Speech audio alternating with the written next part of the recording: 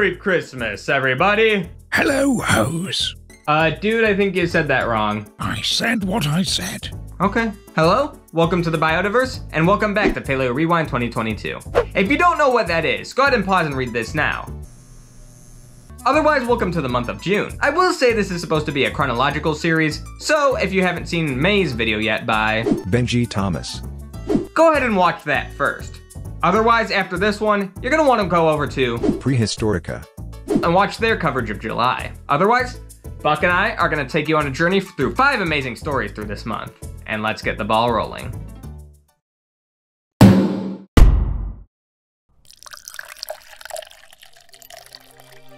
This is a megalodon. Scary, isn't it? Uh, actually, methinks that's a great white shark. Okay, funny guy, thanks for ruining my surprise. It's what I do.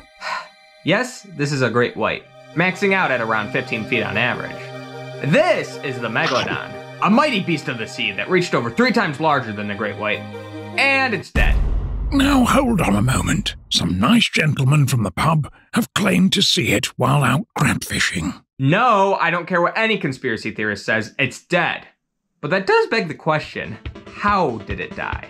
Surely it was a combination of many things that we could possibly never know for sure. But a recent study came out, and the great white, it might have actually led to its extinction in part.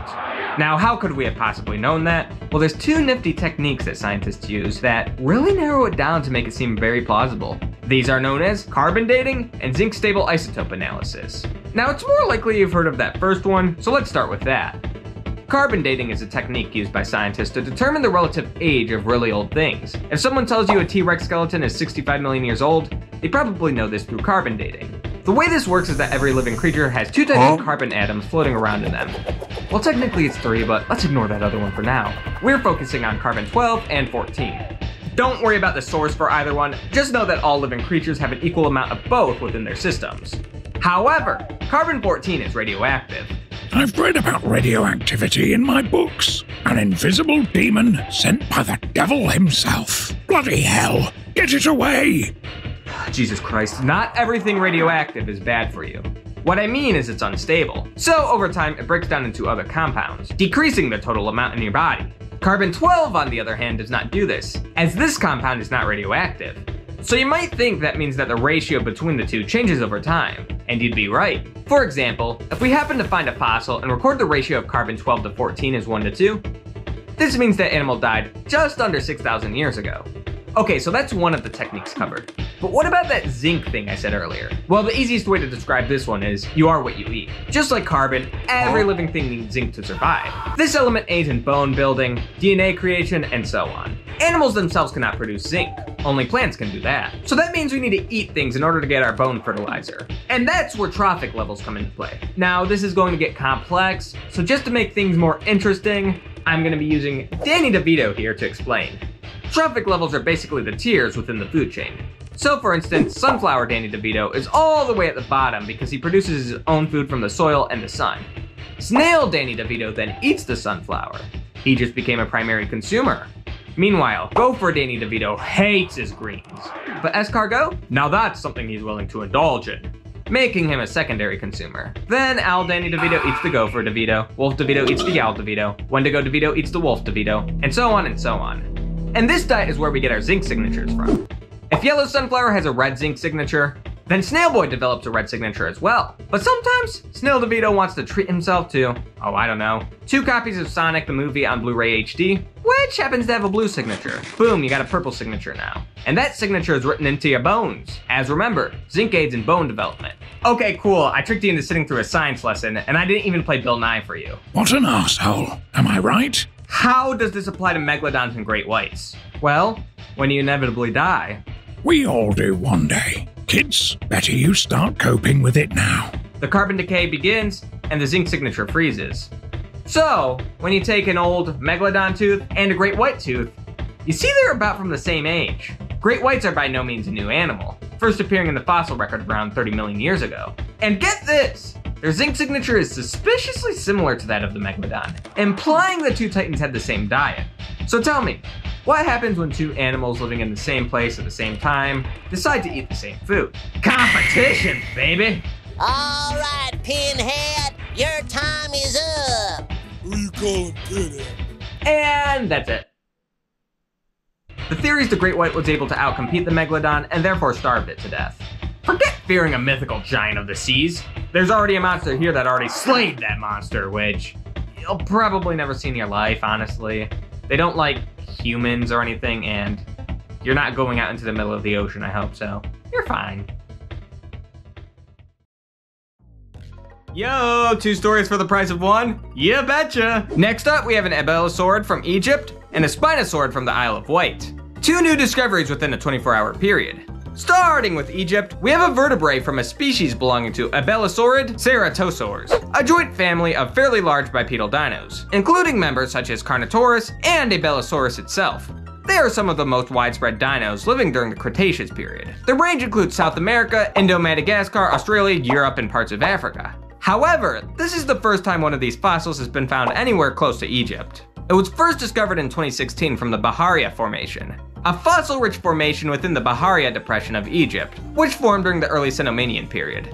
This particular fossil is believed to be about 98 million years old. And not only is it the first Abelisaurid fossil ever found in Egypt, but it's the oldest one ever found, up to this point at least. But what did it look like? Well, Ohio University has an answer for us. According to Belal Salem and his team, they believe it was about 6 meters tall, with small teeth, tiny arms, and a bulldog-like face. Oh, this. This is beautiful. And so is the White Rock Spinosaurid from the Isle of Wight. Conversely, this specimen is the youngest we have on record for its clade, though it is considerably older than the Abelisaurid at 125 million years old.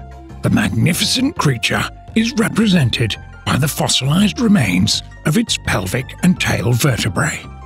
Another speciality of the creature is it's believed to be the largest land based hunter to ever roam Europe.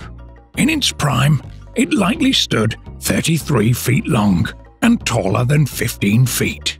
Quite the big bloke. And they're still looking for a name.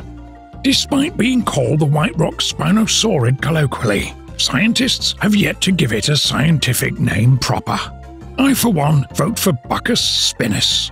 A name fit for a king. I believe you've dropped this. And this king's significance doesn't stop there. Large holes were bored into the rock, suggesting some sort of bone eating larva had found its way to the carcass first. A rare look at the ancient decomposers at work. Oh, how the mighty fall. I relate to that bugger in some ways myself. You know, with my body missing and all. Seriously, I miss my ass. It was eaten by beavers when I was three, those bloody bastards. You know, I didn't even want to go in the water, but no, me mum said it'll be fun, sweetie. How's paying medical bills in America for the rest of your life fun? Psst. Hey, you wanna know a secret? Ah! Haha, scared you, didn't I? Well, it's relevant to our next story. Get this dinosaurs had belly buttons. Crazy, right?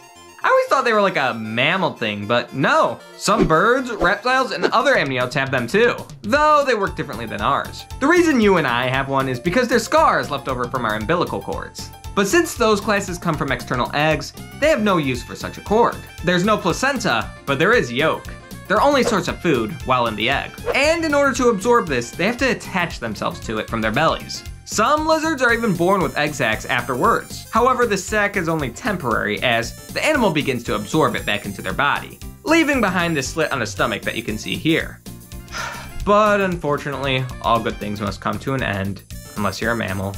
As they age, the mark smooths over, leaving little evidence it ever existed after only a week or two.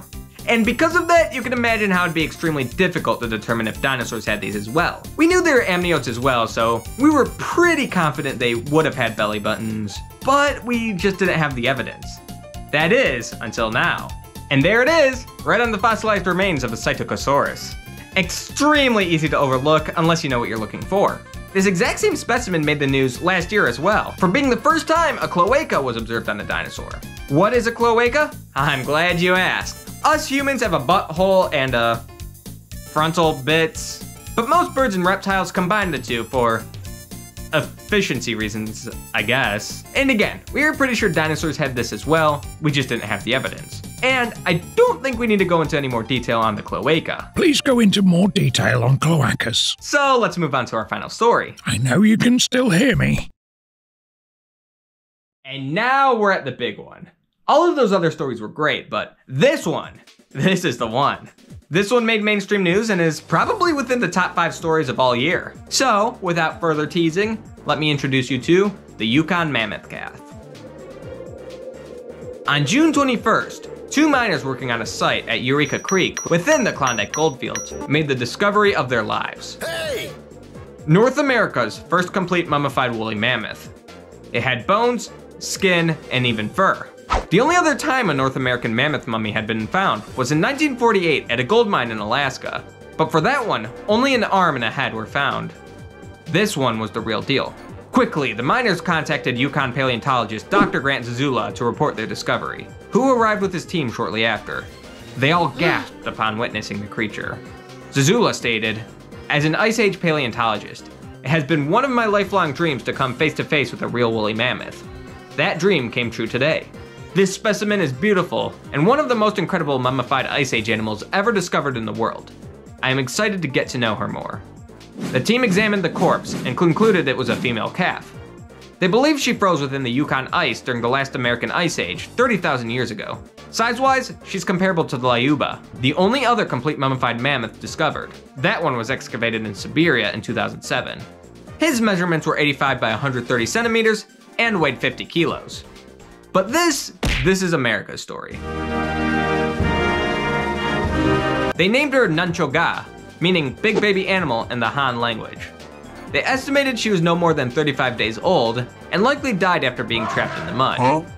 At this time, uh, her whereabouts are kind of complicated. She was technically discovered on First Nation land. I, I'm not going to pronounce it out of respect because I'm definitely going to butcher it. But this land is owned by the descendants of the Han speaking people, have been there for a thousand years, so I'd say they definitely have precedence. And even though Zazula's team did receive their blessings to remove the animal, there's still a whole bunch of legal shenanigans and hurdles that need to be resolved first, but we should receive an update on Nun cho ga soon. Overall, it was a month of some pretty extraordinary discoveries. Which story was your favorite? Let me know down below.